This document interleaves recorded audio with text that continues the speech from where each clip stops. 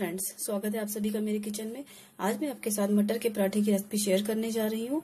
अगर आपको मेरी ये वीडियो अच्छी लगे तो मेरे वीडियो को लाइक कीजिएगा और साथ में अगर आप मेरे चैनल पर न्यू है तो मेरे चैनल को शेयर और सब्सक्राइब करना ना भूलिए। साथ में बेल बटन क्लिक कीजिए ताकि मेरी न्यू वीडियो आप तक सबसे पहले पहुँचे। आइए देख लेते हैं कि मटर के पराठे बनाने के लिए मैंने क्या क्या सामग्री ली है और इसे बनाना बहुत ही आसान है। तो मैं बहुत ही आसान तरीके से पराठे बनाने वाली हूँ। आप इसे ज़रूर ट्राई कीजिएगा और खाने में भी बहुत ही टेस्टी है। तो आइए स्टार्ट करते हैं।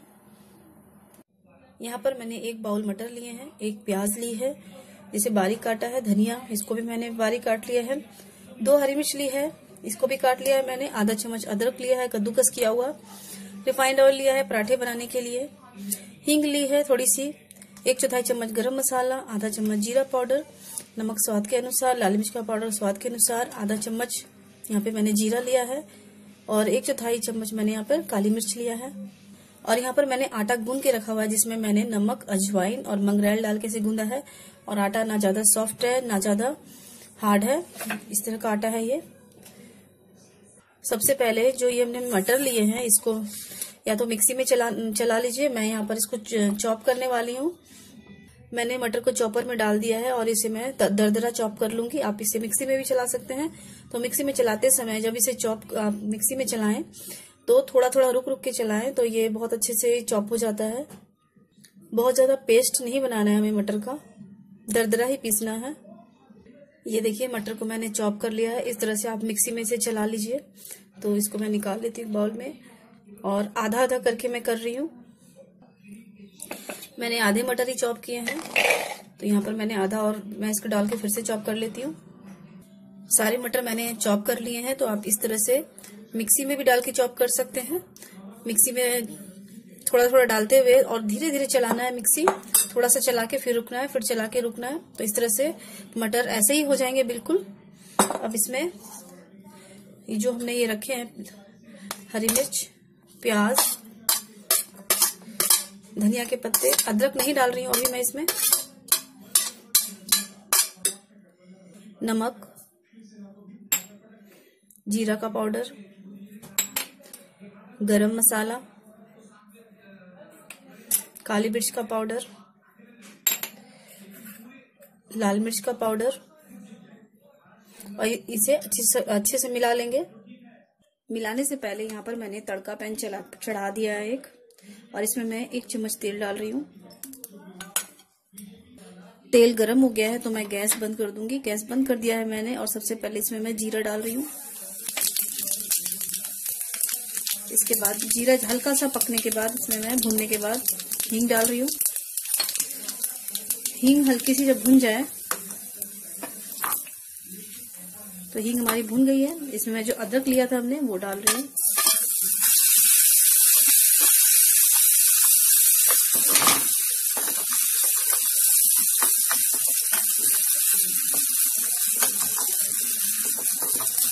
अदरक को हल्का सा भूनने के बाद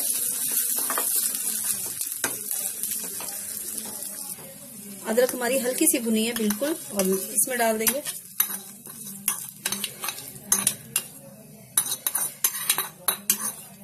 और सभी चीज़ों को बहुत अच्छे से मिक्स कर लेंगे।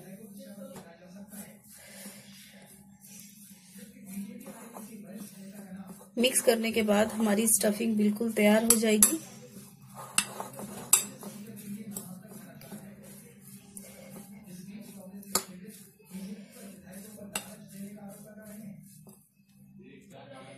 आटे में भी हमने नमक डाला हुआ है तो नमक बहुत ही संभल के डालना है।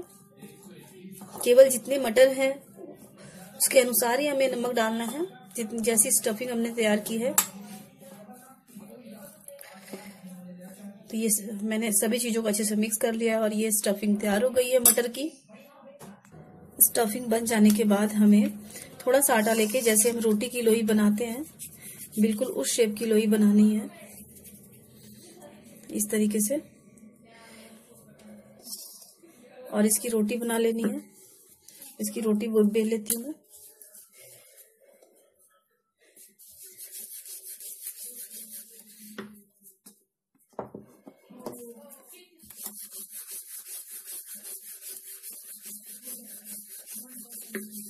इस तरह की दो रोटियाँ बनानी है हमें।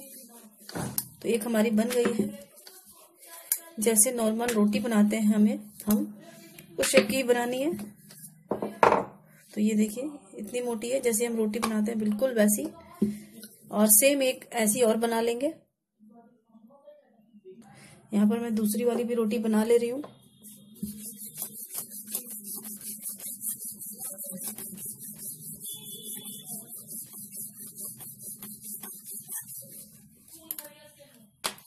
तो ये देखिए सेम साइज़ की रोटी बन गई है। और जो ये स्टफिंग हमने ली है, इसमें से हमें दो से तीन चम्मच इस पे डाल देने हैं। तो यहाँ पे मैं तीन चम्मच डाल रही हूँ। और इसे अच्छे से फैला लेंगे चारों तरफ़। स्टफिंग ना ज़्यादा कम डालनी है, ना ज़्यादा, बहुत ज़्यादा डालनी है। ज़्यादा डालने से पराठे हमारे फट जाएँगे।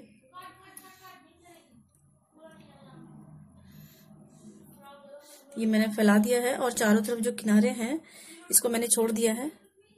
मैंने स्टफिंग को अच्छे से चारों तरफ़ फैला लिया है और गैस पे मैंने तवा गर्म होने के लिए चढ़ा दिया है मीडियम फ्लेम पर और ये दूसरी जो रोटी हमने बनाई है, इसके ऊपर हम इस तरह से हाथों में थोड़ा सूखा आटा लगा के इस तरह से दबा देंगे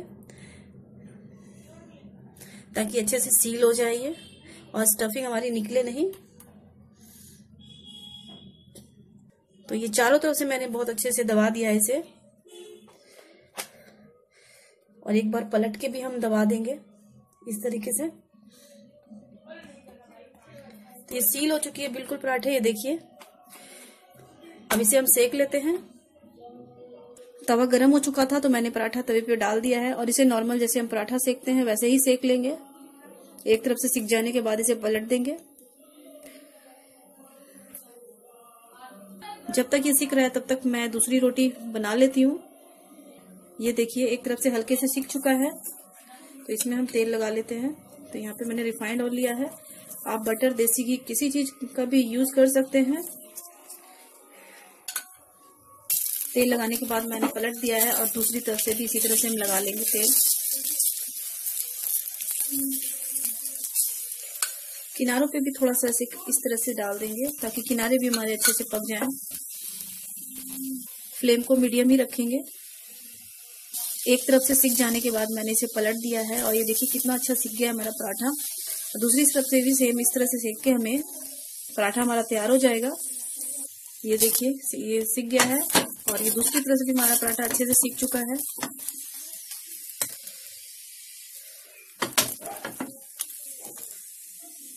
पराठा हमारा सीख चुका है, ये देखिए। तो मैं दूसरा पराठा बना लेती हूँ। सेम जैसे हमने पहले रोटियाँ बनाई थी, वैसे मैंने रोटी बना ली है। और इसमें स्टफिंग डाल देंगे तीन चम्मच। इसे अच्छे से फैला लेंगे चारों तरफ़।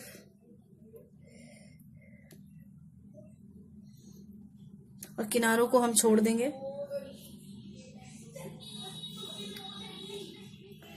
अच्छे से फैला लिया है और दूसरी रोटी इसके ऊपर डाल देंगे, जो दूसरी रोटी हमने ली है। और हाथों में सूखा आटा लगा के इसे हम इस तरह से प्रेस करेंगे ताकि रोटी हमारी अच्छे से पैक चिपक जाए दोनों रोटियाँ आपस में।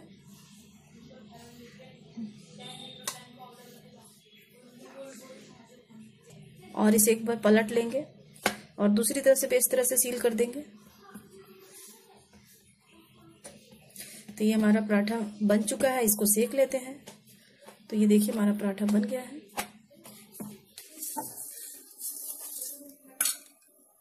पराठों को इसी तरह से सेक के हमें सारे पराठे बना लेने हैं। लीजिए फ्रेंड्स, हमारे पराठे मटर के तैयार हो चुके हैं और ये देखिए स्टफिंग और ये खाने में भी बहुत ही टेस्टी है। तो आप इसे घर पर ट्राई कीजिए अच्छा लगने पर फैमिली और फ्रेंड्स में शेयर कीजिए, मेरे साथ कमेंट करके भी शेयर कीजिए कि रेसिपी आपको कैसी लगी। मिलते हैं एक नई रेसिपी के साथ नए एपिसोड में। धन्यवाद।